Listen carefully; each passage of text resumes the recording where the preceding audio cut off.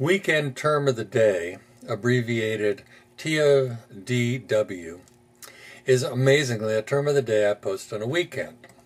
Now, I've been releasing uh, term of the day videos on Monday through Friday, and I plan on continuing doing that. But weekend videos will include terms, also include terms, but they're going to be of a different kind, created for a different reason.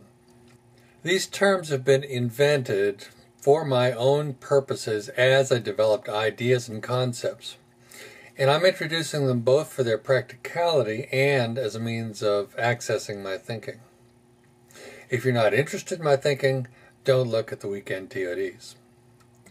Some of the terms, like this one, will prove useful in understanding how I've set up jargonocracy. So maybe for a while you might want to look at these, um, uh, these at both videos, both the weekday and weekend. Now, for example, tomorrow's term is a RENN, R-E-N-N, which means a video that expands on what I say in any given term of the day video. It might be an example, an observation, or even a correction of the original video. Now, if I have more to say about weekend videos, I'll produce RENNs that are associated with this video. So you can, you know, look at the RENNs and you'll find out more uh, or get a better understanding of what the weekend videos are, how they're set up, why they're different than the others, and so on. All right.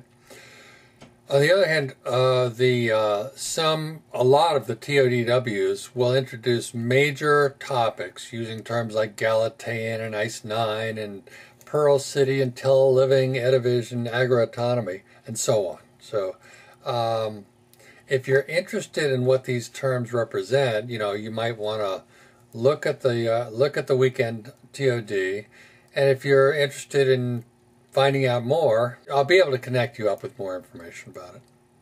And one last thing is they will probably tend to be more informal than the others and maybe have less graphics or a different kind of graphics also. Um, but they'll be different. So, uh, you know, that's what they are, weekend, weekend uh, term of the day videos.